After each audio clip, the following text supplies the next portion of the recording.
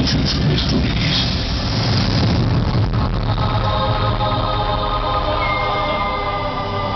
these surroundings guide you to the depths of your own soul.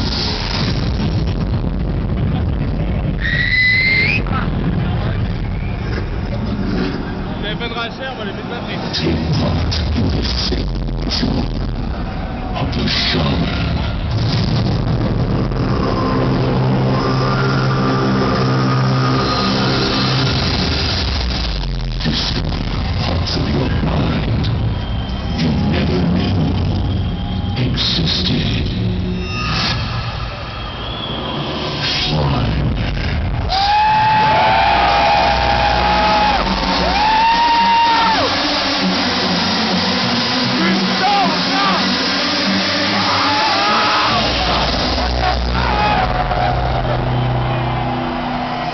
Take part in this mystic journey. Leave the past behind you.